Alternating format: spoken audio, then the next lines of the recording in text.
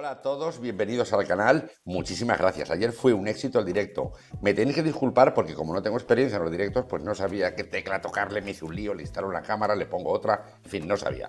Pero ya he aprendido, que sabéis vosotros que yo me aplico rápidamente. Bueno, noticia de ultimísima hora en este paraíso de la corrupción que es la colombicultura. Es un paraíso. Esto está de corruptos. No me extraña que me llaméis muchos y muchos amigos muy preparados y me dicen, si supieras la desilusión tan grande que hay en la colombicultura por culpa de los dirigentes, de verdad, es tremendo. Bueno, os cuento, hoy hemos tenido un montón de aficionados, declaración en los juzgados de Albacete. La prensa, los aficionados, todo. La prensa, como os he dicho, se ha hecho eco de la noticia y os la voy a leer para que veáis hasta qué punto durante 37 años ha hecho una familia. Decidirán los jueces. Yo os digo lo que dicen aquí. Os la leo porque no tiene desperdicio. Querella criminal contra el expresidente de la Federación de Colombicultura de Castilla-La Mancha y su hijo. Y aquí no termina la cosa, ¿eh? El expresidente declara como investigado y su hijo lo hará en próximas fechas. Este jueves ha declarado en el juzgado de instrucción número 1 de Albacete, en calidad de investigado, antes era imputado, ahora se dice investigado, ya sabéis cómo funciona esto. El que fuera presidente de la Federación de Colombicultura de Castilla-La Mancha, Enrique Sánchez García, acusado de supuestos delitos de estafa, falsedad documental, apropiación indebida, administración desleal y malversación de caudales públicos. Cinco delitos. Ojo lo que estoy diciendo. Estos presuntos hechos habrían sucedido entre los años 1983 y 2020, periodo en el que fue presidente de esta federación deportiva. En la causa también se encuentra investigado su hijo, único empleado federativo y asambleísta de la Federación Española de dicho deporte. Bueno, era asambleísta, sabéis que nos hemos quejado mucho, es lo que os digo yo siempre, siempre. Vamos a ver. A mí me extrañó mucho cuando fue a la última asamblea, allí el padre y el hijo, venga besos, venga abrazos, siéntate, ¿cómo estás? Vergüenza os tenía que dar, vergüenza os tenía que dar a esta gente recibirla como la habéis recibido.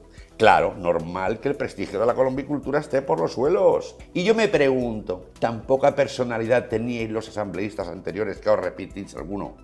O muchos, no lo sé, lo tengo que mirar. Para atender a esta gente después del daño que le han hecho a la colombicultura, vergüenzas tenía que dar. Voy a seguir. El juzgado de instrucción número uno en su día admitió la querella criminal presentada contra el presidente de dicha federación y en la actualidad volvió a admitir la ampliación a la querella, en esta ocasión contra su hijo, empleado de dicha federación. ¿Ves lo que decía yo del presidente de la Murciana? No, enchufo a mi hija, es que tal... A ver, cuidadito con el tema de las familias. Cuidadito con esto. Todo eso a la calle. Si queréis limpiar el deporte, tenéis que ser impolutos. No podéis andar con los enchufes y con los chanchullos. Por eso a mí no me queréis, claro, porque yo soy una persona íntegra y limpia como lo he demostrado en la federación. Por eso no me queréis. Porque sabéis que si yo entrara, ay madre mía, ay madre mía, qué dolor de cabeza le iba a dar alguno. Seguimos. El conocido abogado penalista Mariano López Ruiz firma ambas querellas criminales y acusa en sus escritos a ambos regidores de este deporte manchego de supuestamente organizar una presunta mecánica delictiva para distraer de las arcas federativas durante más de tres décadas de miles de euros, miles, miles y miles de euros en beneficio propio.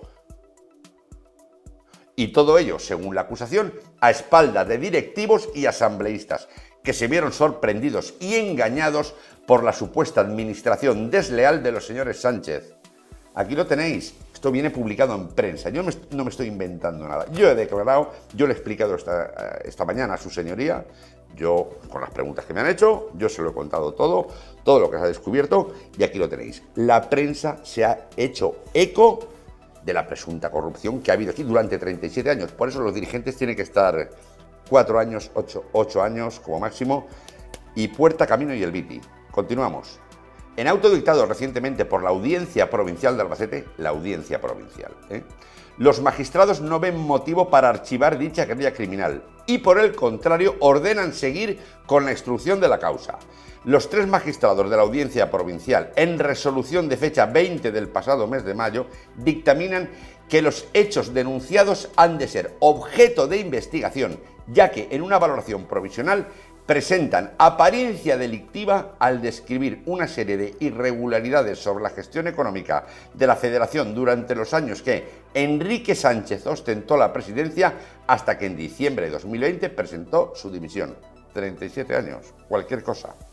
Así se hace referencia a la adquisición de cestas y atenciones navideñas por importes significativos no aprobados por la Asamblea General, el desajuste en las facturas correspondientes a los trofeos, a los cargos realizados a la Federación por supuestos desplazamientos de un empleado, hijo del denunciado. Pero es que escuchadme, que esto es lo bueno, es que, para, que me entendáis, el padre presidente, el hijo de los viajes, que viajaba más que Willy Fox, y la dueña, la que cobraba la mujer y la madre. O sea, fijaos Claro, es normal que el aficionado no tenga confianza en los dirigentes de la colombicultura, es normal. Por eso hay que denunciarlo públicamente para que lo sepáis todo. Seguimos, seguimos y aquí no paramos. A recibos firmados de forma unipersonal por el denunciado sin la firma del tesorero gerente, a gastos de desplazamiento del denunciado sin justificar con facturas, a la emisión de cheques al portador librados contra la cuenta corriente de la Federación, contabilizados pero sin factura que los justifique. Contabilizados en el sentido de que eh, por la ley de prevención y blanqueo de capitales, yo lo que hago cuando entro de gerente, tesorero, es pedir los extractos de los últimos 10 años y claro, yo tengo que empezar a puntear, a puntear. ¿Sabes lo que es puntear? Es decir, bueno, un taloncito, a ver, ¡pum! ¿Y qué factura? Una factura. Ya tenemos, ya tenemos el lío, ya hay un problema aquí grande. Vamos a continuar. Y esta es buena, esta os va a encantar. A la exoneración del pago del impuesto del IVA y retenciones a la arrendadora, esposa del denunciado, que es lo que te he contado, del inmueble donde se fijó la sede de la federación y la negativa a los demás miembros de una copia de las llaves de la sede. Sabéis que lo he contado que y ni con requerimiento notarial, porque claro, yo tenía que ir a la federación a ver cosas, a trabajar, lo requerí notarialmente y ni con el notario que no me daba la llave, que era su casa, no es la federación. Esto es mi casa y no te la doy porque no me da la gana. Lo puede decir el notario o lo puede decir la anunciatura de su santidad. Claro, ¿sabéis lo que pasa? Que luego vienen los problemas. Y ojito que este problema es más grave de lo que nadie os podéis imaginar. No sabéis lo que es que os investiguen por cinco delitos de este tipo. Ojo, porque aparte de la condena penal, si la hubiera o hubiese, está la responsabilidad civil. Estamos hablando de muchos miles y miles y miles de euros. No sois conscientes. Tales hechos, según los magistrados de la audiencia provincial, pueden ser provisionalmente constitutivos de un delito de apropiación indebida o administración desleal, sin perjuicio de lo que pudiera resultar de la investigación. Según dicho auto, la personación de la Federación de Colombicultura de Castilla-La Mancha como acusación particular es legítima y se encuentra justificada. Ya lo veis, aquí no paramos. Es la única manera de hacer limpieza, como dice un asambleísta de la Federación de Colombicultura de Castilla-La Mancha, limpieza y desinfección, porque es la única manera de que el aficionado vuelva a tener ilusión. Eso es tu mayor tesoro. Nada más, aquí lo dejo, os doy las gracias y os seguiré hablando de corrupción, también de palomos, también de palomos. Pero el tema de la corrupción me preocupa mucho, porque esto es lo que ahuyenta el crecimiento y el engrandecimiento de esta gran afición.